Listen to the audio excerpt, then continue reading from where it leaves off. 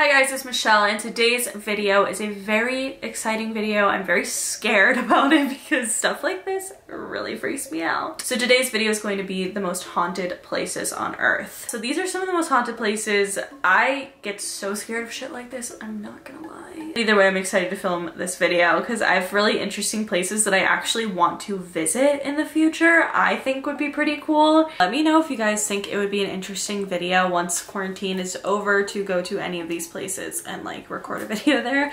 I don't know, stuff like this does freak me out a lot, so it would be taking a lot out of me, but I feel like it could be worth it, honestly. So let me know what you guys think. But let's get into some of the most haunted places on earth. So the first place we're gonna be talking about is the Carl Beck House, and it's in Ontario, Canada. It is kind of outside of Toronto and it is super creepy. This house was built in the 1800s and Carl Beck actually lived there with his entire family. Sadly, Carl's wife actually passed away and when she did, their eldest daughter Mary was the one who stepped in and really like took on the mother role and took care of her other siblings. And what's really sad is when Carl passed away, he evenly divided his estate between his kids, as most people do, except Mary was only left with one dollar. And I know the value of a dollar was very different in the 1800s, but still, it was nothing compared to his estate and what he had and what the other siblings got, which is so crazy because literally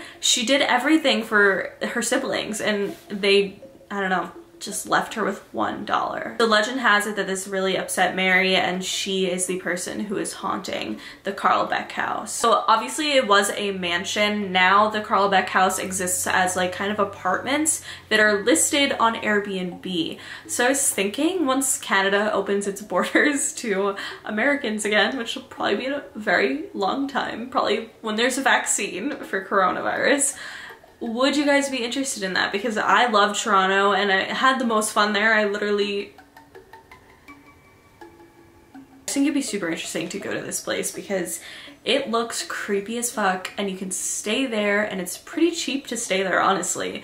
So would you guys be interested in that for another video? Because I think that'd be kind of cool to see if it's really haunted or not. But I don't know. Guests who have stayed at this Airbnb since have reported seeing a man in a suit that they believe is Carl Beck and then also seeing an angry woman in a dark blouse and skirt that a lot of people really do think is Mary being upset that she was left with basically nothing. Which is really sad, honestly. I feel really bad for Mary because I would, I would be so mad. Could you imagine? You like spend all this time taking care of your siblings, stepping up to the plate, like when your mom like passes away, like horrible situation and you just get nothing and your siblings get all the money. Like that's so mean.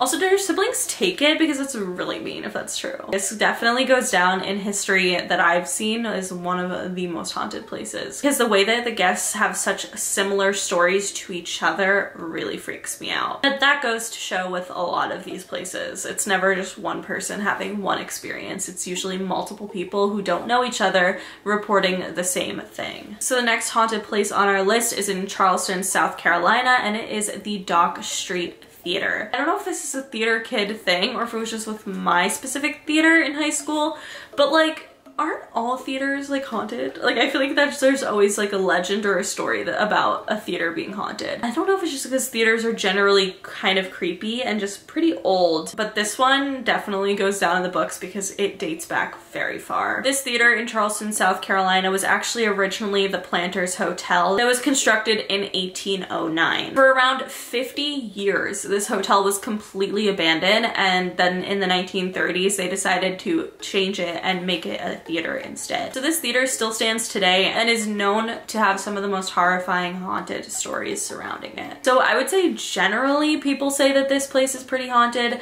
but more specifically, a lot of people have reported seeing a specific ghost or figure, whatever you want to call, of a woman in a red dress. Now, a lot of the local people who live in Charleston claim that this ghost is the ghost of a woman named Nettie. So many people claim to see a woman in a red dress at this theater. Basically, legend has it that Nettie is actually a person who existed in the 1800s in Charleston, South Carolina. She apparently was named Nettie Dickerson. She came to Charleston, she had a lot of ambition, she was very excited, and she really, really wanted to get married. Now, unfortunately, Nettie was 25 years old, which in the 1800s was pretty old to be getting married at. So she was never really seen as the marriage type. No one would want to marry her because of her age which is so messed up. So she got a job at the St. Philip's Church and she did really well at this job. She actually ended up becoming really close friends with the priest. At the same time, Nettie just felt like she did not belong here. She didn't think that the church job was good for her. She always felt like everyone was judging her and she just didn't like it overall. So that is when she decided to take all of her money, go to the most expensive shop that she could find in Charleston and buy the most expensive dress in the store, which of course was a vibrant and gorgeous red dress. So this was when Nettie started working out of the Planters Hotel as a prostitute and she just like felt like she was never accepted by the high society of Charleston no matter how hard she tried. She was very frustrated and very fed up with it. And allegedly one day she was on a second floor balcony of the Planters Hotel and she was very, very upset because she, like I said, felt like she was never accepted by Charleston's high society. She was out on this balcony during a huge, huge thunderstorm. The priest who still really cared for Nettie was downstairs, like outside, looking up at her at the balcony and he was trying to talk to her, being like, it's okay, like, we like I still like care about you it's gonna be fine and Nettie was like you can't save me. And then allegedly was struck by lightning. That's just such a sad story with like a sad ending. But of course like I said the Planters Hotel ended up becoming the Dock Street Theater. And this is where so many people have claimed to see the ghost of Nettie. It's just really horrifying to think because I feel like if you see someone in a red dress like you know you see someone in a red dress. It's a very eye-catching color. It's just really really scary that so many people had the same story. It's like a known thing by local people who live near this theater that this is just a ghost that just is there and it's just fully accepted the fact that it's very haunted and it sounds very scary. Although she doesn't sound sinister or anything so that's good. Now we're moving on to a bit of a more darker place. This one's like actually really scary. I kind of started with the more lighter things that maybe were ghosts that were not that mad or sad or whatever. But yeah, this one has been haunting me for like years. This one scares me so much. And I would like to say that I would go there for a video, but like BuzzFeed Unsolved already did it and like I feel like I don't need to. and also I'm horrified and I would, I just, maybe I would. Island of the Dolls, a very horrifying place that we are going to talk about now. So the Island of the Dolls is an island located just south of Mexico City. It has a absolutely horrifying history. A man named Don Julian Santana Barrera left his family during the 1950s and basically just moved to this island that later became known as the Island of the Dolls. So according to Don, not long after he moved to this island, he discovered the body of a little girl floating in the canal. And then after he was really upset that he couldn't help the girl, he couldn't save her, he saw a doll floating in the canal. And this doll he just assumed must have belonged to the little girl, so in order to respect her, he decided to hang the doll up on the island. He started to feel very like haunted by the soul of this little girl that he couldn't save and to appease her soul, he started to hang up different dolls. Like he would go and search for these old dolls and he would hang them up all over the island. He soon began to realize that it was actually the dolls themselves that were possessed by little girls. He claims that he wanted to like appease their spirits so much. Like, like I said, he started going out and finding dolls and hanging them up all over the entirety of the island. Like there are so many dolls hanging up on this island. According to his close family and friends, he seemed to be possessed by an unforeseen source because he completely like changed after he moved to that island. It was unexplainable and it was just so bizarre in the way that no one else could understand other than, like I said, an unforeseen force, which is really, really scary. So after 50 years of collecting dolls and hanging them on the island, in 2001, his body was actually found in the canal and in the exact same place that he claimed that he found the little girl 50 years earlier. Which at that point, I feel like, I don't know how you would come up with an explanation for that. Like, Obviously, I guess it could be coincidental, but it really does seem like something was doing this to him and making him feel like these dolls were actually, I can't even, I can't even say because it freaks me out so much, but like, I don't know, it's so scary. It is now a huge tourist attraction. Local people actually do believe that it is charmed and it is like very scary. It seems very haunted. I don't like it. It is probably one of the most scary places on this list. Honestly, the scariest that I've, I've ever heard of because it just makes me so uncomfortable. I like, I don't know, like, do you believe his story? Do you believe that he actually saw the body of a little girl floating in the canal and then the, like, obviously the doll, like, was actually there because he did hang up the doll. The doll is still there. I don't know, like, what do you guys think is the truth about this? Like, I feel like there's no I hate I hate when I have to say there's no other explanation when it is involved with stuff like this because it really does scare me. Like what explanation would you have? Part of me would love to visit this because I think it'd be so interesting. But then the other part of me is absolutely horrified. So what do you guys think? Would you guys go visit the Island of the Dolls? I don't know. For I, for some reason, that one really freaks me out. I think because dolls kind of scare me in general. And I'm just really not interested in you know, an island full of creepy ones. But either way, it was super sad story. I hope that wherever he is, he is at peace. But a lot of local people think that his soul is also on the island um, in the dolls. So I actually am getting. But like I said, I do really hope he is at peace. So the next haunting actually occurs in a famous hotel. Could you imagine if I was like the Tipton Hotel, Suite 613? no, I'm just kidding. Uh, it's a famous hotel in London. It is called the Langham Hotel and it seems terrifying. But I was thinking about it and obviously my friend Kira is from London and I feel like she's like pretty popular over there. I think that she could maybe pull some strings and get us to be able to book the exact room that people claim is the haunted room in this hotel uh, and maybe film a video there.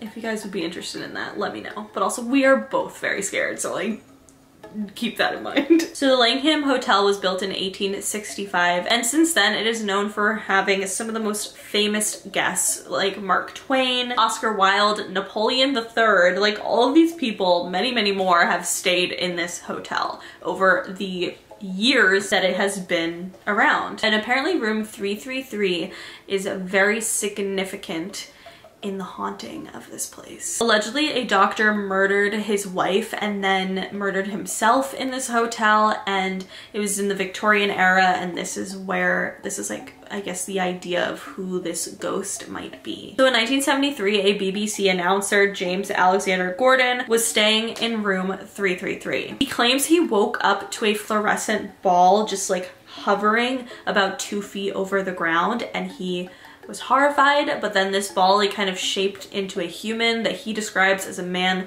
with silver hair wearing Victorian era clothing. Gordon asked the figure what it wanted and it didn't say anything, it just stared blankly at him and then started coming at him with open arms and I would literally lose my mind. Like I would cry like every day forever. I can't imagine. What's creepy about this is that other guests, several other guests have had so similar stories. Flashback to me being like, should we go stay there? Like, no, but maybe. In 2014, England's cricket team stayed there and one of the players stayed in room 333. cricket player named Stuart Broad was the one who was staying in the famously haunted room. He claimed that the room was stiflingly hot and just overwhelming. Apparently he had such a frightening experience that he didn't really talk too much about, but he actually requested to change rooms because of it, which has happened a couple times actually. Another woman left in the middle of the freaking night because she was so horrified. She literally just checked out of the hotel and left, which would be my vibe, except for I would like cry first a lot. So a lot of people as well claim to see the ghost of Emperor Napoleon III in the basement of the hotel, which is interesting because he actually did live at the Langham Hotel in the last days of his exile. So it's a possibility that his soul would still be there haunting the place. really wanted it next time I go to London let's do it. So the last place on our list is a bit close to home, which I dislike a lot. um, it's not that close to me personally, but it is in Florida and it is in St. Augustine. And it's the haunting of the lighthouse of St. Augustine, Florida. So the construction for this lighthouse actually began in 1871 and it took over three years to complete. The man who was the superintendent on the construction project of the lighthouse actually had two daughters who would come to the lighthouse and play around and hang out with their friends at this lighthouse construction site. And one day his two daughters and three of their friends were pushing each other around in this small rail car that was used for transporting supplies from the nearby pier to the lighthouse. And this was a game that they played a lot and unfortunately one day it went very wrong. On this one day the wheels of the rail car were shifted. Essentially the kids ended up falling off of the pier um, into ice cold water. Unfortunately the two daughters of the main construction worker in this project of the lighthouse and one of their friends actually drowned. Luckily two of them were saved by a nearby construction worker who saw the whole thing happen. And it's just really really sad and heartbreaking and so like scary to think, but after the construction was done and this lighthouse was completed, lots of people have reported hearing giggling of little girls and just seeing little shadows that were four feet tall running around at the lighthouse. Although these particular spirits are believed to be the daughters of the superintendent of the construction, these specific spirits don't seem to be like menacing or anything mean or evil according to the people who have seen them. However, there's also reports of seeing a man and this figure to the people who saw was very terrifying. A lot of these sightings of this man were in the basement which used to be the lightkeeper's home. This shadow figure is known for making the room smell like cigars and making the visitors just feel generally very very creeped out and scared by this. And what's really creepy is on an episode of Ghost Hunters in 2006 when they went to visit the St. Augustine lighthouse, there's like a dark shadow peering over them and it's very, very creepy. And all of a sudden they just, it just vanishes. Like it's so freaking creepy. Oof, it actually really freaks me out. People started to ask like, who is this man? Like, who is haunting the lighthouse? Some people believe it is the ghost of a man named William Russell, who was the lightkeeper in the 1850s. Although Russell was very passionate and protective over the lighthouse, which is why people believe that he you know, wants to protect the lighthouse and that's why he has kind of like a scarier energy. He's not like the most likely person to be the person haunting according to legend. Most people think that it was actually another lighthouse keeper named Joseph Andreu. According to the legend, he suffered a fatal accident when he fell from the lighthouse in 1859. And it seems the majority of people believe that this is the man that's haunting the lighthouse to this day. What do you guys think was the scariest out of all of these places? I think a lot of them are actually haunted haunted, which is probably why I'm so freaked out right now. But what do you guys think? Do you guys ever be interested in watching a video of me visiting any of these places? Should I just like not get involved? I don't know. But that is it. If you guys like this video, please give it a big thumbs up. Let me know in the comments below what you guys think about these haunted places. And if you have ever been to any of these haunted places, please let me know and tell us your story in the comments below. But that is it. Make sure you follow me on Twitter, Snapchat, and Instagram because I'm always posting really dope ass shit on there. Subscribe for new videos every week and I will see you guys later. Bye!